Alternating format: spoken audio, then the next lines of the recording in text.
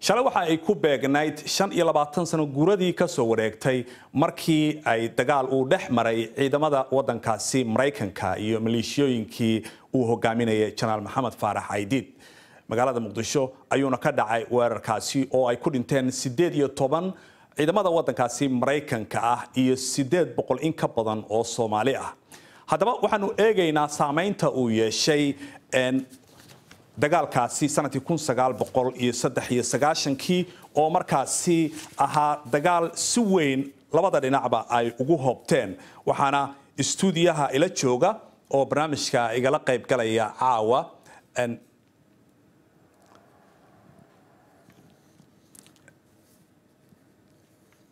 waa tahay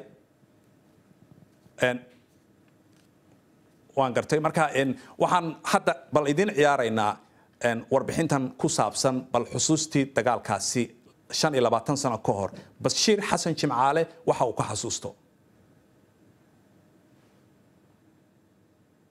Khasaare u geystay iyo dhibaatadii u geystay taasi caalamkao dhan ba og kuwii geystay iyo kuwii loo geystay intuuba way og yihiin.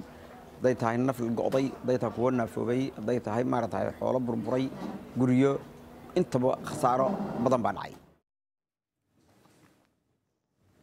haddaba barnaamijka caawa dooda oo aanu ku lafagurayno shan iyo labaatan sano kadib dagaalkaasi ka dhacay magaalada muqdisho waxaa istuudiyaha igula sugan cabdisalaam guuleed oo ah khabiir dhinaca amniga oo markaasi arrimaha amniga soomaaliya iyo guud ahaan gobolka isha ku hayay muddooyinkii ugu dambeeyey waxaa magaalada muqdisho isna qadka ku jira qadka magaalada wadankaasi maraykanka isna ku jira faysal rooble oo isna ah aqoon-yahan soomaaliyeed oo arrimaha siyaasadda iyo ammaanka gobolka ka faallooda. Dhinaca magaalada muqdishona waxaa isna qadka uga jira cabdulaahi xarbi oo qabanqaabiyey xaflad shalay lagu xusayey dadkii ku dhintay weerarkaasi maraykanka iyo dagaalkii ka dhacay saddexdii oktoobar sannadkii kun sagaal boqol iyo saddex iyo sagaashankii. Waxaan ku bilaabayaa magaalada muqdisho cabdulaahi munaasabadda aad qabateen shalay bal haddaad si kooban ujeedkiinu waxa uu ahaad noo sharaxdo. Bismillah. Waa runtii waa mahadsan tahay farxan. Adiga iyo dhegeystayaasha b b c da shalat hore waxaan qabanay.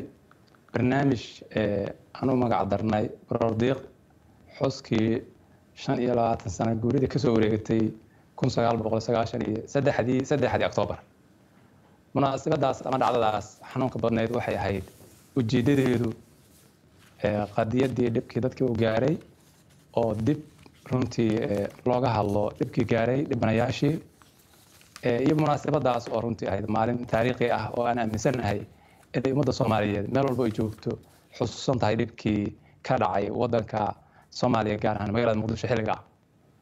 Qadiyadaasna waxaan macnaha oo ula jeednay mar hadday tahay maalin munaasabad qaran oo ummad soomaaliyeed oon wax galabsan lagu dhibaateeyey inaanu xusuusino dhibanayaashii inaanan hilmaansanayn dhibkii gaaray haddaan nahay dadkii dhibkaas qaybta ka ahaa ee ayagu markaa lixaadooda qabay. Waan gartay.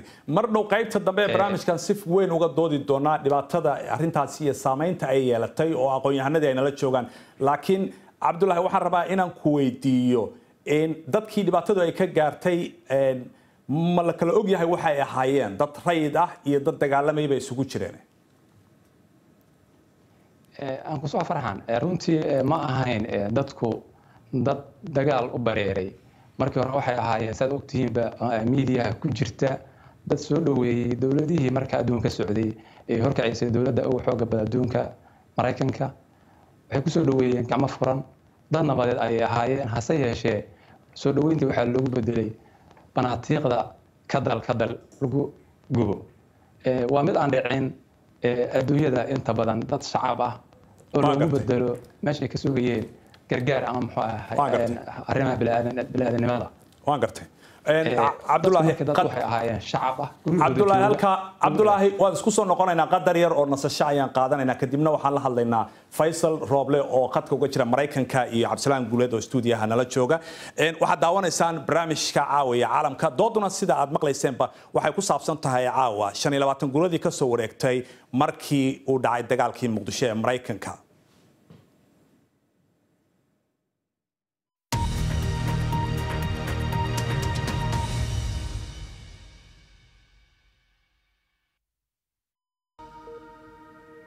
weli waxaad daawanaysaan barnaamijka caawa iyo caalamka gaar ahaan doodii khamiista oo caawa aynu ku eegayno shan iyo labaatan sano kadib weerarkii maraykanka ama dagaalkii ka dhacay bishii oktoobar saddexdeedii sannadkii kun sagaal boqol iyo saddex iyo sagaashankii oo ay nagala qayb galayaan cabdisalaam guleed oo stuudiyaha iminka igula sugan iyo faysal rooble oo isna khadka uga jira dhinaca wadanka maraykanka. Faysal adi haddaan kugu hormaro maraykanku markii arintaasi ay dhacday mandatekoodii ama qorshahoodii howlgallada qaramada midoobay waxbay ka bedeleen.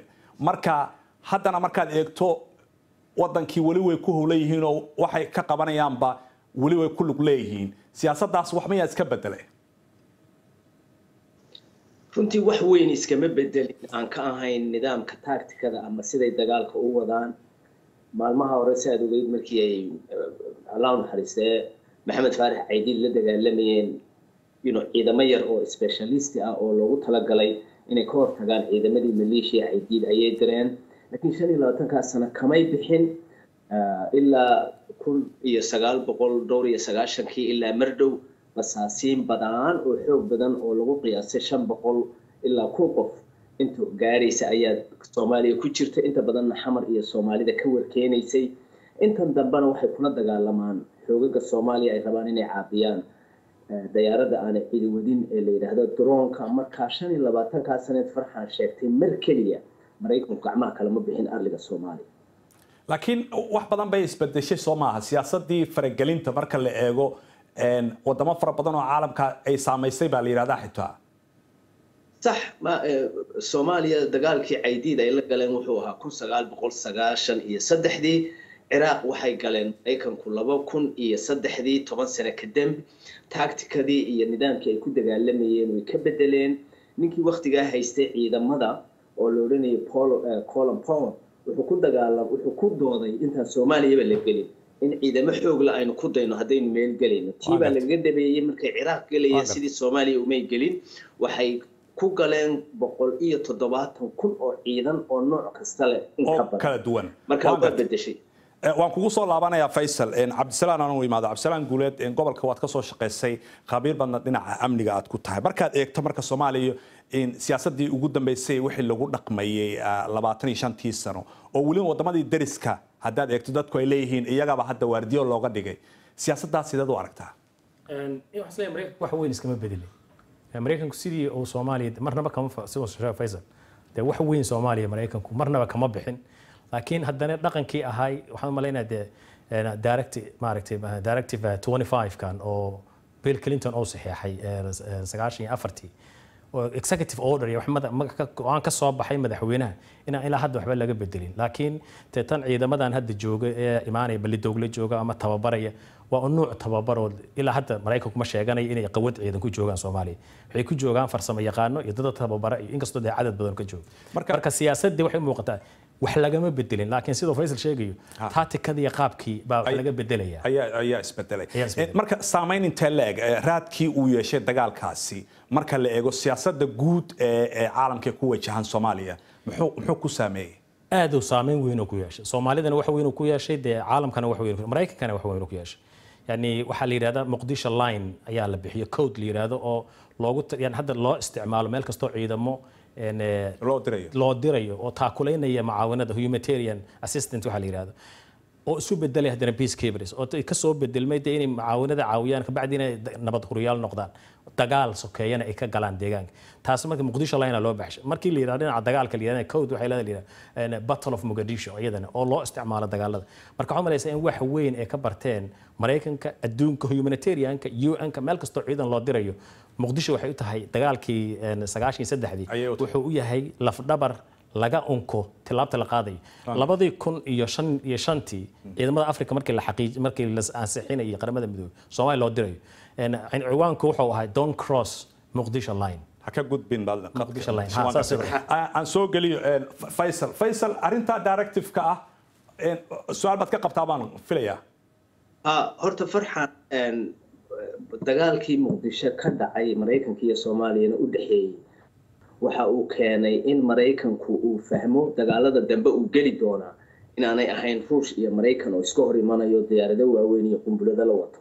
Wuxuu noqonayaa waxay yidhaahdaan urban warfare magaalooyin iyo suqduudo dhuudhuuban oo lagu dagaalamayo ama yeman ha noqoto ama soomaaliya ha noqoto marka wuxuu sameeyey nidaam cusub iyo ciidamo cusub iyo hub cusub oo lagula dagaalami doono magaalooyinka waxaa ka mid a hubkaa cusub xamarna lagu tijaabin rabay haddii aan laga soo gaarin qumbulad iyo xabado dhaca oo sidii rabarka ama laastiga qofka isku marmaraya meeshana ku ku qabanaya marka runtii حق الدقالك ويسك بدلي حق السياسة ويسك بدلي حق فرجلين تأدون كأي فرجلين أيان ويسك بدلي مركب وانكرع سنة ووتر شيء وحيد أما قيم السوق أدون فكر كقصة بيرتوي أرنتي حمل كنا على waan gartay. Faysal waxaan rabaa inaan siiyo cabdulaahi xarbi muqdisho khadka uga jira. Cabdulaahi wadanka wadanka gudihiisa aad joogtaa shalay dee xus baad u samayseen shan iyo labaatan guuradii. Marka dadka muqdisho ama wadanka gudihiisa saamaynta uu ku yeeshay raadkeedii ma muuqdaa maanta?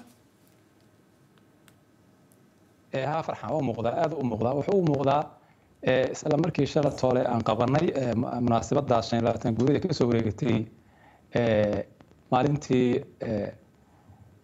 dagaalkii dhex maray janaal ciidiid iyo muxuu ahaa maraykanka ciidankii horkacayay ee uu markaa u micneeyey inuu laynayo ama uu la dagaalamayo maleeshiyo ciidiid taageersanayd laakiin ay ka bedeleen xaqiiqadu oo dad guryahoodii joogay ilmo xaafadahooda jooga lagu duqeeyey. Dadkii markan anagu qabanqaabeen munaasabadaas saddexdii sagaashan saddexdii shalay aan ku qabanay magaalada muqdisho dadkii ka qayb galay haddee intiini joogtay ama intii runtii ka qayb gashay unbaa sawiri kartay magaaladana action ka soo baxaya wuxuu ahaa maalin qaran maalin qaran oo runtii u dhiganta in la xuso inay tahay fikirkaada markaadaan si kooban kuu weydiiyo cabdulaahi dad baa weli qaba in soomaalidu dagaalkaas ay ku guulaysteen qaarna waxay qabaan in dhib weyn uu u keenay adigu maxay kula tahay farxan waa xaqiiqo. Labada fikirba markii la barbar dhigo mid wuxuu ahaa guul oo dad lagu soo duulay ilaahay tala saartay oo guulaystay bay ahaayeen. Midna waa xaqiiqo oo murugo ayay lahayd oo dad guryahoodu jooga oo lagu dhibaateeyey ama xubnoodii ku waayey ama ku agoontoobay ay ahaayeen. Labadaba dhihi karaa waa laba jirta waan gartay. Cabdisalaan intaanan faysal ku soo gabagabayn waxaan jeclaan lahaa casharka laga baran karo muxuu yahaad is leedahay ilain hadda taariikh bay noqotay. Soomaaliya waxay u baahan tahay inay ka fikirto haddii loo soo gurmado sida loo dhaqmi lahayd hadda ka bacdi. Waan is leeyahay dee hadda guul hadda su'aashaadii kole markaan daba raaco soomaaliya guul ma sheegi karto waxaad malaysaa inay adduunkii si kale u arka soomaaliya markii laga soo bilaabo waagaas. Adduunkuna inuu fikir kale uu qaatay ah markii meel loo tegayo dee maaragtay nabad ilaalin loo tegayo ama dee humanitarian ama kaalmo biniaadan loo tegayo oo ruwaandoo kale iyaad umalaysaa saameyn weyn hataa inay ku yeelatay soomaaliya arrinteeda.